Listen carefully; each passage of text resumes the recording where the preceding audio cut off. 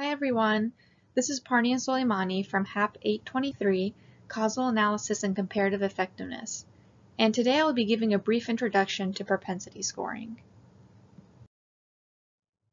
So what exactly is propensity scoring? It's a balancing technique used with observational studies. These type of studies are non-randomized and may show great differences in characteristics between treatment and controls, which could create partial results. It's also used when there's no randomized design. Under non-randomized conditions, it can be used to produce equal comparisons.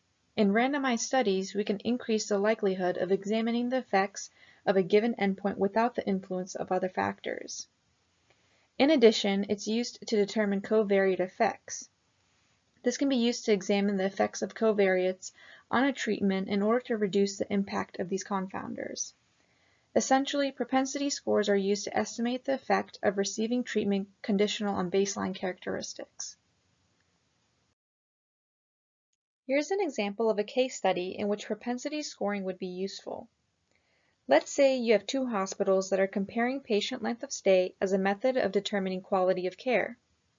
Hospital B has had recent changes carried out in order to increase quality of care delivered to patients and will serve as a model to other hospitals should these changes be effective. When looking at the information, we see that Hospital A is observed as having a much lower length of stay per patient compared to Hospital B. Does that mean Hospital A does a better job at seeing and treating patients? The answer is not as clear as it seems. Although one would assume a lower average stay means the hospital is treating patients more effectively, there are other factors that also need to be taken into consideration. To understand this better, we would have to examine patient characteristics. As you can see, Hospital B has a higher volume of elderly patients, which means these patients have a greater risk of having more complicated problems. This could potentially increase their length of stay at a hospital because they require more attention. Hospital B also has an occupational therapy unit, Patients in these units tend to stay for longer periods of time due to their conditions. These factors all have an influence on length of stay and need to be accounted for. In this case, propensity scoring allows us to conduct more balanced comparisons among hospitals by taking certain characteristics into account. Here is the model used to determine the estimated propensity score. It depicts the probability of receiving a treatment given the covariates. Let's take a look at the individual components in order to get a better understanding of what this model entails. The estimated propensity score is the conditional probability of being assigned to a treatment based on a set of characteristics, or covariates. Because we are dealing with probability, this score ranges anywhere from 0 to 1. The T in this model refers to the treatment type, we use t equals 1 for an outcome under treatment or exposure, and t equals 0 for an outcome without treatment or exposure. X denotes the observed characteristics which are referred to as covariates, and these are essentially the background characteristics affecting treatment. So we have x1 as the first covariate, x2 as the second, x3 as the third, and so on. Each covariate can be evaluated independently in the model to produce a propensity score associated with that covariate. There are different applications of propensity scoring, but for this video's purpose, we'll focus on some of the most commonly used. The first is propensity score matching, which is the most popular method used. In propensity score matching, you match subjects using a number, propensity score, between treated and control groups. Baseline covariates can be matched as long as they have the same or similar score. The goal is to make the baseline characteristics as balanced as possible between the two groups. In the figure to the right, you see various columns with values underneath. The P stands for patient and the T is for treatment. Every patient is assigned a 1 if they are in the treatment group or a 0 if they're in the control. Measurable variables are provided under age and condition. The propensity score, represented by the p-score column, was calculated for each row. Now that we have an idea of what was done, we can go ahead and start matching propensity scores between the treatment and control groups.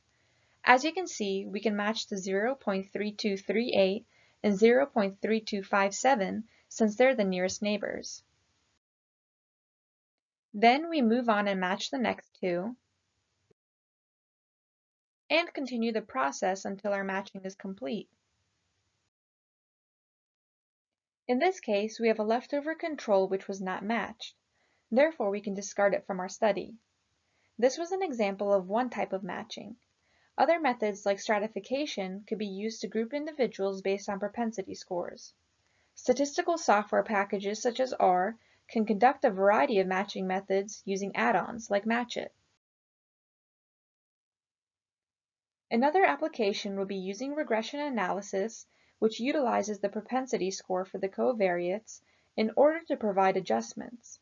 Logistic regression can be used to determine the odds ratio and can control for a number of covariates. The logit function calculates the odds ratio, which is adjusted for the covariates. Propensity score weighting is another popular application which can be carried out using different methods. Popular methods consist of inverse probability, ATT, also known as weighting by odds, and weighting after matching. Each method consists of a different calculation used to attribute weights that are later used to estimate treatment effects. There are different toolkits, commands, and functions that can be used by various software, but for this video we'll focus on using R. When dealing with R, there are different toolkits for weighting and analyses that can be used. Matchit and Twang are heavily utilized for these types of analyses and can be installed using the commands provided under the Toolkits and Packages section. The Twang toolkit contains functions used to estimate and evaluate propensity scores and associated weights. And just like it sounds, Matchit is used to select matched samples. The regression function listed under the matching section is an example taken from a dataset labeled Lalonde. As you can see, you have the treatment, the different variables we are using, the data we are pulling from, and the method, which is nearest, as indicated using quotes. By using the summary function, R will produce a summary of balance for all data, a summary of balance for matched data, and percent balance improvement. To find weights generated by propensity score matching for all the data in the dataset, we can use the m.data line listed under the weighting section, followed by the fix function. This will produce a table with corresponding weights assigned. Here are some of the common treatment effect methods that are used with STATA. Additional methods and references can be found by visiting the STATA Treatment Effects Reference Manual, the website provided. In summary, propensity scores are used to estimate the effect of receiving treatment conditional on baseline characteristics. Different methods like propensity score matching, regression analysis, and propensity score weighting are common applications of propensity scoring. And statistical software like Stata and SAS can be used to conduct calculations associated with propensity scoring. I hope this video provided some insight on propensity scoring and the various methods associated with it. Please check out the references listed next for additional information, and thank you for watching.